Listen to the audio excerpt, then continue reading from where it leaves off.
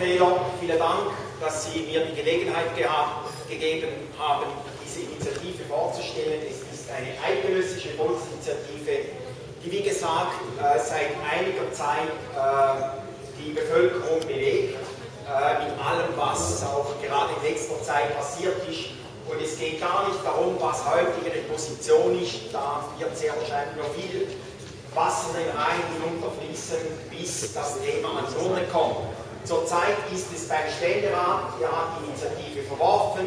Es geht sehr wahrscheinlich Anfangs nächstes Jahr in den Nationalrat und bekanntlich geht das dreimal, kann das bis zu dreimal hin und her gehen und wann sich denn die beiden Räte nicht treffen, äh, unter Umständen gibt es keinen indirekten Gegenvorschlag. Aber nochmals vielen herzlichen Dank, dass Sie mir die Gelegenheit geben, diese Initiative vorzustellen.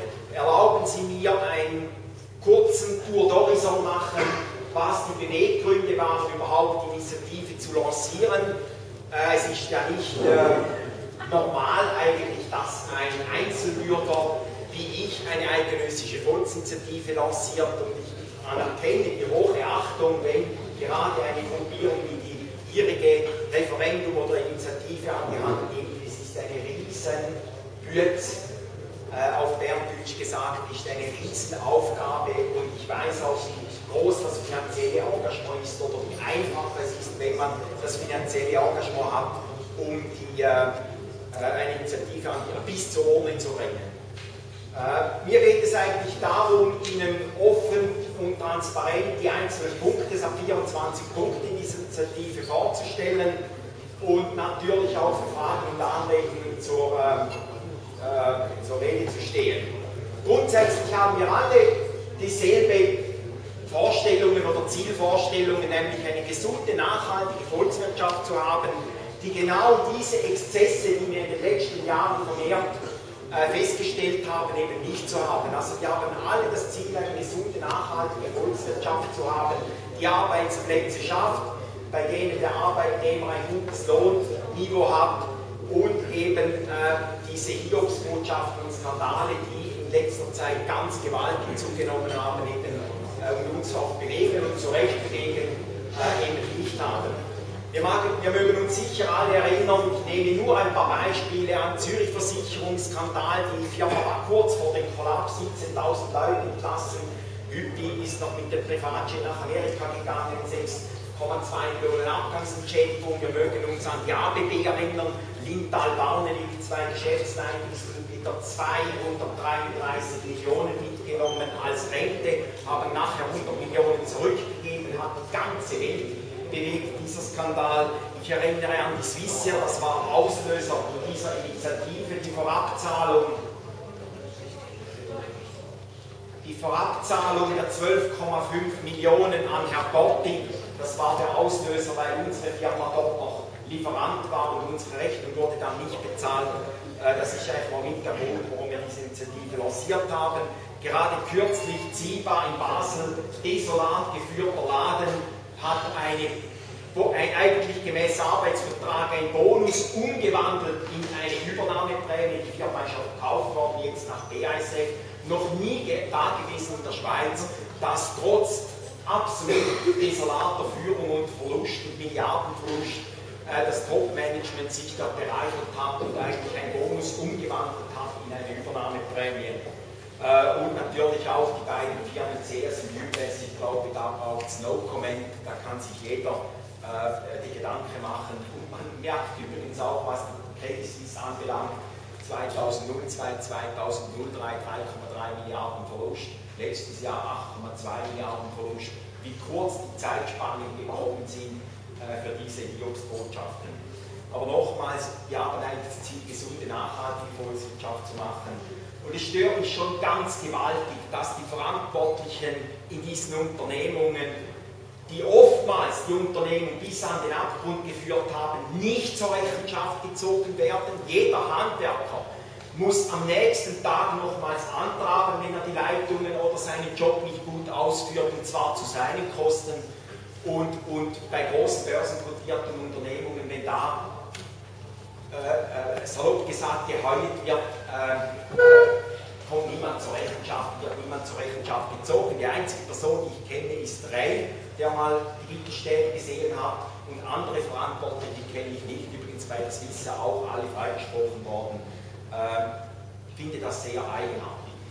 Festzustellen ist bei diesem ganzen Thema, dass wir eigentlich von ein paar hundert Millionen Skandale in die Milliardenskandale gegangen sind in den letzten Jahren.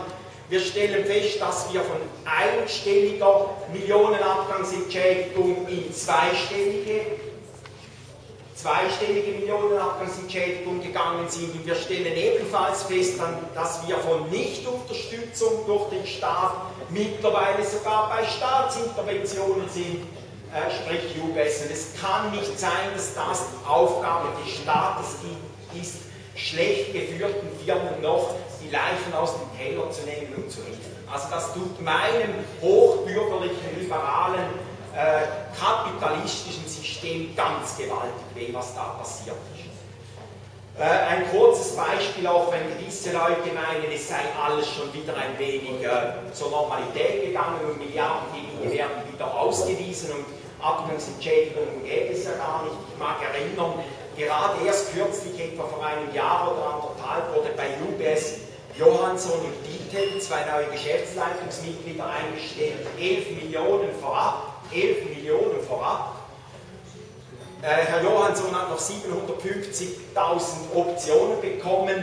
Mittlerweile ist er nicht mehr im Unternehmen, er wurde rausgekickt. Also er hat sozusagen eine, Vorab, eine Vorabkasse bekommen, wie der Herr Gotti, ein Millionensalär, mittlerweile noch eine Abgangsentschädigung, der ist nicht mehr in der Firma drin wohlverstanden bei Unternehmungen, die gar kein Geld in der Kasse haben und letztes Jahr 28 Milliarden Verlust ausgewiesen haben, haben noch solche Spielereien gemacht mit dem Geld des Aktionärs.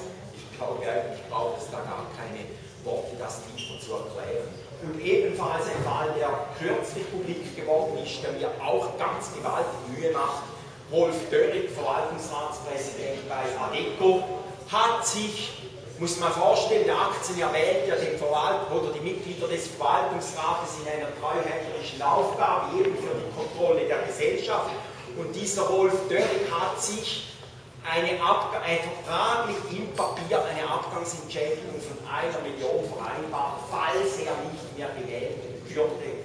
Also ist unvorstellbar, wir haben den wenn er halt der Mitglied des Verwaltungsrats nicht mehr will, dann wird er abgewählt und sollte auch keine Abgangsentschädigung bekommen. Wir sind also mittlerweile so weit bei Schweizer börsenkotierten Unternehmungen, wo man nicht einmal mehr die Wahl akzeptiert, ob gewählt oder abgewählt, sondern man vereinbart auch mit der Firma eine, eine, eine vertraglich gesicherte Abgangsentschädigung. Das ist eigentlich ganz gewaltig, was da, da. Und äh, es kann nie und nimmer im Sinne des Aktionärs, sprich des Eigners sein, was da abgeht in den Unternehmungen. Das ist Bereicherung, eine Form von vorweggenommenen Gewinn, kann man auch sagen, diese, diese Systeme. Und äh, der ganze Lösungsansatz der Initiative zielt ja buchstäblich auf den Aktionär und auf den Eigner. Und wenn er dann findet, dass diese Vergütungsmodelle oder diese Summen in Ordnung sind, dann sollte eigentlich auch die Diskussion aufhören, es ist nicht laut und deutlich nicht die Aufgabe des Staates, bei börsenkotierten Unternehmungen, also privatrechtlich organisierten Unternehmungen, Einfluss zu nehmen in die Vergütungspolitik. Wenn überhaupt, ist das die Aufgabe des Aktionärs, des Eigners, aber sicher nicht des Staates und schon gar nicht auch der FIMA bei den Banken. Äh, diesen, dieses Thema ist zurzeit in, äh, in, in äh,